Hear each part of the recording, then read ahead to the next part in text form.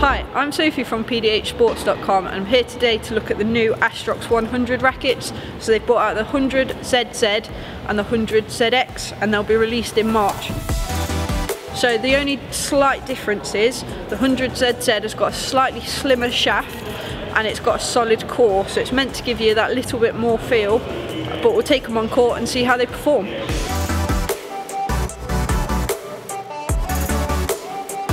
Uh, so my first thought is they're both really nice rackets. Um, I mean, the 100ZZ, the one that has the solid core, um, you can feel how much kind of stiffer it is. You know, you wouldn't imagine it would make that much difference, but it does feel quite stiff, you know, as you're hitting through. But then I think because it's got this hyper slim shaft, you know, it cuts through the air really well, you know, on your defence, it feels so light, even though it's it's an 83 gram racket, so it's kind of pretty average, you know, it's nothing special, but because it's so slim, it does cut through the air like a lighter weight racket, and then because it's got that head heavy balance, you know, you still get the power from the back of the court.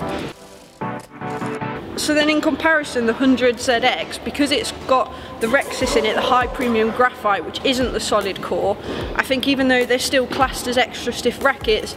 it doesn't quite feel as stiff as the ZZ. You know, it's got a little bit more give in it, you know, a little bit more flexibility on the overhead shots, it's a little bit more forgiving, but they've both got like such good snapback, it's such a quick, high-paced racket, you know it is they're both really nice I think my personal opinion would be I actually prefer the ZX uh, just because it's a, slightly more forgiving racket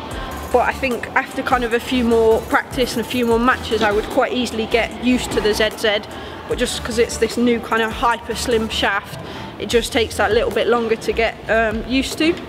So these rackets will be released um, in March and the 100ZZ will have an RRP of 220 and the ZX will be 170